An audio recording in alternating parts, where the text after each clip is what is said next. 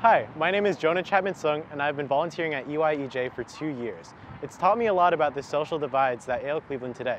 Please consider donating to the EYEJ Connecting Cleveland Fund. Thank you.